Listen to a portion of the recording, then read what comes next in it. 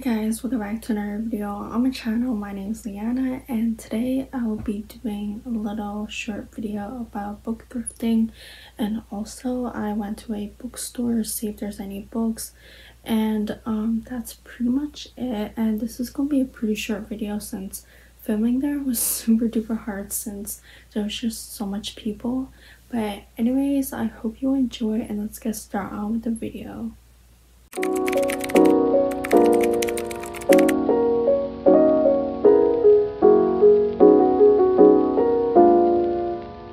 The first book I saw was kind of surprising, but I found Six of Crows here and I never saw it and it's for six dollars and it was kind of ruined a little bit, like the pages and everything, so um that's that. Um there was a, a like huge selection of what you can get, but I checked the mystery and crime section because that's where I usually check. And um I found like a few books as you can see. Um, I did find Gone Girl, but it was in a cover I didn't really like. Like, I was about to get it, but I decided not to because I want the original cover. But anyways, here's some like ones I just like pulled out. These are some random ones I just saw. But let me know if you guys read them and if I should try them out. But yeah. So there isn't really ones I knew because there were, uh, I think, more like adult thrillers than other ones. Or they're like older thrillers that I've never seen before. But anyways, on the next area, we, I found this book just sitting here, but it looks kind of interesting. I might check it out, but I'm not sure. And then here's some just like other stuff, and this is the fiction section, I'm pretty sure. So that's that. Um, I didn't find anything that interesting here, honestly. I don't really check this section at all, because I think they're mostly historical fiction, which um, it really depends on the book if I'm a fan of it, but yeah. So there was a lot of people um, in the area, so I decided to stop recording for a little bit and I looked around and there just wasn't a lot of things that I wanted to get.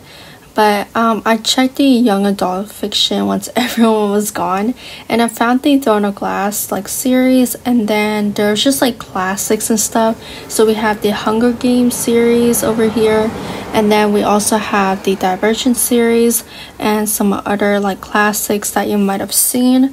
But anyways, these aren't really what I am like looking for. I was mainly looking for like thrillers or fantasy, but these aren't really what I was looking for, but it's still interesting to see them. But yeah, so anyways, um, afterwards I just like left because there wasn't anything good.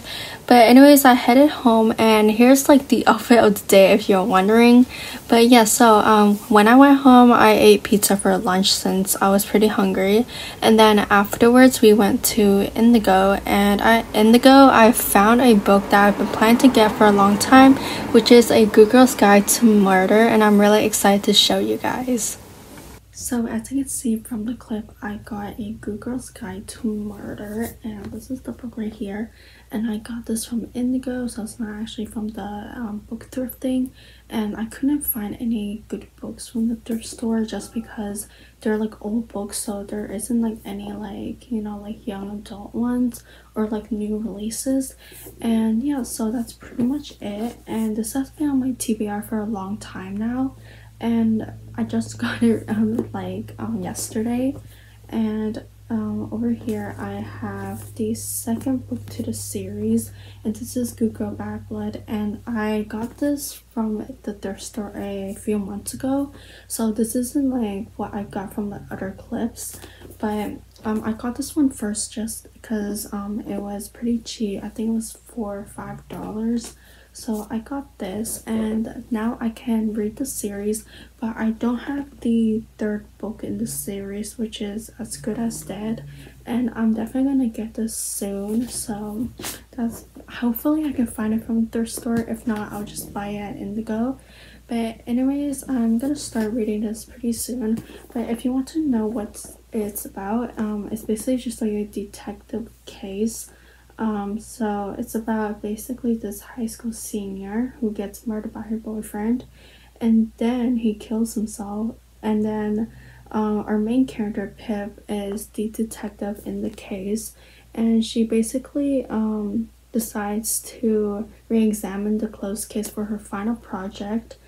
and then she discovers a lot of dark secrets that may prove that he's innocent and that's just the story. And then this one is um a podcast which i don't want to read too much about this since it might be a spoiler for the first book.